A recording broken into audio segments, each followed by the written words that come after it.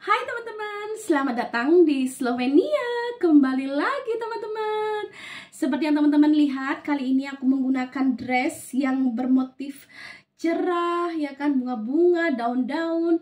Ya karena kita di Eropa ini kita sedang memasuki musim spring atau musim semi teman-teman. Jadi aku mau juga menikmati uh, musim ini dengan mengeluarkan dress-dress yang aku simpan di dalam lemari sudah sekian lama teman-teman karena jujur li aku tuh bukan salah satu fans musim dingin Oke, pertama kali aku datang aku sangat excited banget. Tapi setelah berapa kali aku mengalami musim dingin, ternyata aku tidak terlalu menyukainya, teman-teman. Karena musim dingin itu uh, apa ya? Kita tidak banyak aktivitas di luar rumah. Jadi kebanyakan kita tuh di dalam rumah. Karena kan kita perlu hangat-hangat gitu kan. Jadi tidak bisa berenang, tidak bisa pergi ke taman, tidak bisa pergi mendaki. Kalau winter itu kita hanya aktivitas olahraga itu biasanya hanya ski teman-teman. Dan I like ski so much. Tapi kalau misalnya kayak berkebun, mendaki, bersepeda, naik motor itu kan nggak bisa musim dingin kan karena dingin banget dan sampai minus-minus gitu kan. Jadi ya finally musim semi akhirnya datang teman-teman. Ini sudah mulai hangat di sini. Sudah mulai hangat matahari sudah mulai bersinar dengan cerah sepanjang hari. Meskipun kalau sore itu masih dingin teman-teman. Tapi ya akhirnya kita bisa menikmati sinar matahari yang lebih panjang daripada musim dingin. Karena kalau musim dingin itu benar-benar matahari itu nggak keluar teman-teman. Sepanjang hari itu nggak ada matahari.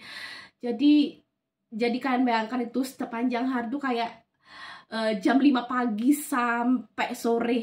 Jadi kalau misalnya musim dingin itu jam 4 sore itu udah gelap teman-teman. 4 sore itu udah gelap, bener-bener gelap. Tapi sekarang ini spring ya, uh, jam 4 sore, jam 3 sore itu itu masih cerah teman-teman baru nanti jam 6 sore itu baru baru mulai gelap jadi kita kembali lagi ke waktu normal gitu teman-teman So, di video kali ini aku juga mau membahas mungkin ada yang bertanya. Ini uh, pertanyaan yang menarik ya, yang mungkin ada uh, aku lupa siapa yang komen tapi aku mau membahas tentang ini teman-teman. Nah, uh, orangnya tuh bertanya kayak gini. Bagaimana uh, apa namanya?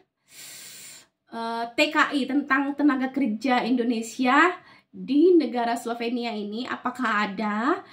Dan bagaimana untuk peluang kerja di negara ini untuk orang Indonesia teman-teman? Jadi ada yang menanyakan seperti itu. Oke di video kali ini aku akan mencoba untuk menjelaskan dan menjawab pertanyaan beliau.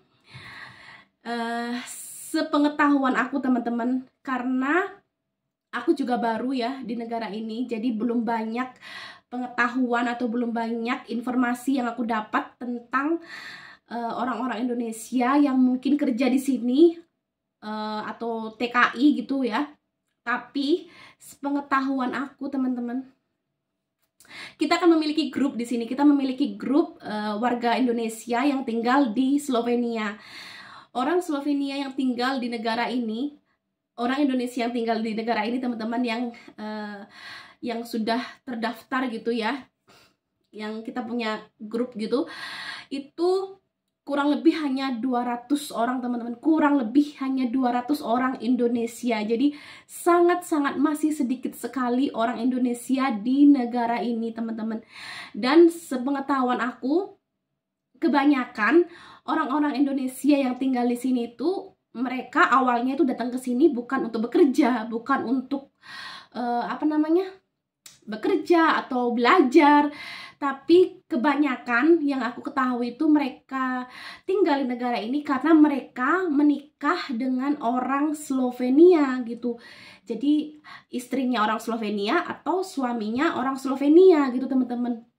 Jadi aku belum menemukan kayak uh, uh, mendengar gitu ya dari teman-teman yang mereka bekerja ke sini tuh melalui kayak agensi atau segala macem yang mereka bisa bekerja di negara ini gitu teman-teman. Jadi aku belum mendapatkan informasi seperti itu teman-teman. Jadi kalau peluang kerja di sini itu sebenarnya banyak banget besar banget peluang kerja di sini teman-teman kalau misalnya kalian itu datang ke negara ini dengan legal gitu teman-teman uh, tapi aku tidak tahu ya aku benar-benar tidak tahu bagaimana jalur kerjanya di negara ini kalau misalnya kalian tidak ada channel di sini gitu. Kalian tidak memiliki uh, saudara suami atau istri.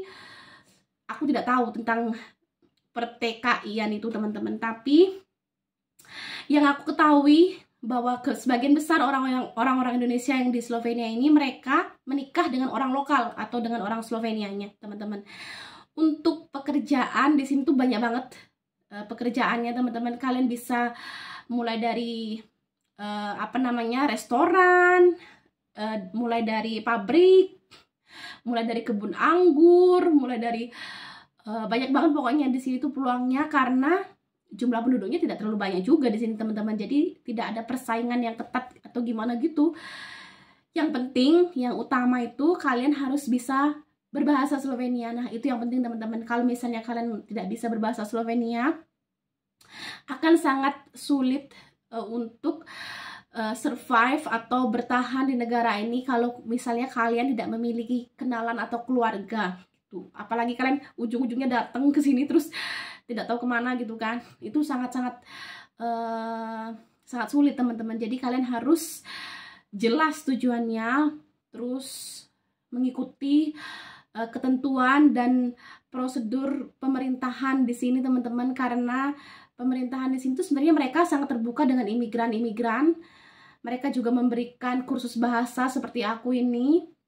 Mereka mempersiapkan kita dengan bekal-bekal untuk uh, mengetahui seluk-beluk negara ini teman-teman. Jadi peluang pekerjaannya sangat besar di negara ini teman-teman. Tapi ya gitu orang Indonesia yang di sini tuh masih sedikit sekali. Jadi uh, aku tidak tahu sama sekali tentang pertki-an ya tenaga kerja Indonesia di sini. Uh, I don't know. Kalau misalnya aku kerja di sini apakah aku juga termasuk TKI ya? Aku juga aku juga aku juga nggak paham tentang itu. Apakah TKI itu harus melalui agensi baru dinamakan uh, TKI atau gimana? I don't know. Tapi ya seperti itu teman-teman. Mungkin beda dengan teman-teman yang bekerja di kayak di Hong Kong Jepang mana lagi ya? Jerman itu kan mereka kan memiliki agensi ya memiliki agent gitu di mana mereka bisa daftar terus mereka uh, nanti dikirim ke sini terus kerja di sebuah perusahaan atau apa gitu kan. Tapi kalau di sini aku belum pernah menemu mendengarkan uh, atau mengetah menget